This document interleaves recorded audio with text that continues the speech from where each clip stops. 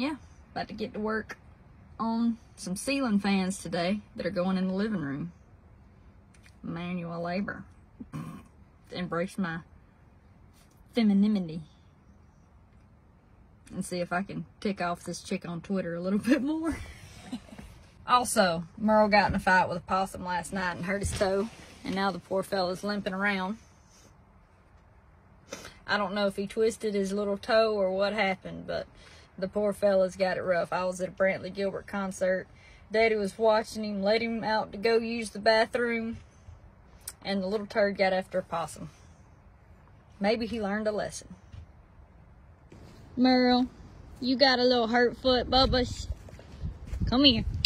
Merle, come here. Look at that poor fellow limping. Oh my goodness.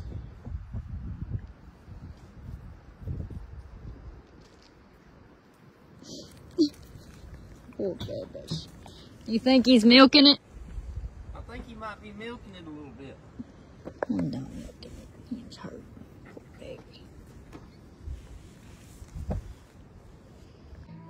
Just to show y'all how spoiled this dog is, I brought his dog bed from the house. You think he's spoiled? Merle? Mm-hmm. No, he ain't full. Not one bit. Yeah, poor Bubba's got a hurt toe. So Merle has decided he's gonna sit with me while I put fan blades together. And Paul's doing the He's supervising. yeah, and he's doing the complicated part. Nah. Ricky's doing the really complicated part Yeah. up there. I'm doing the easiest.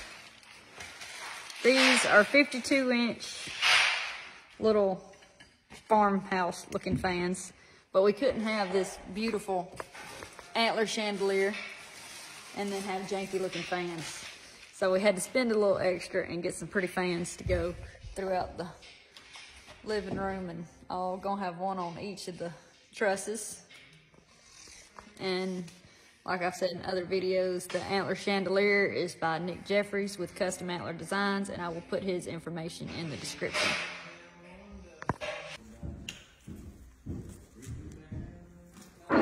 Pretty, is it? Nah. Don't even like it. Look at that big old chow. What you talking about? It rubbish. Poor Merle's little foot's hurting. He's milking it. Poor baby. His bed's over there, but he decided he wanted to Yeah, sit right here. Some attention from his mama. That's all he's looking for. Poor baby.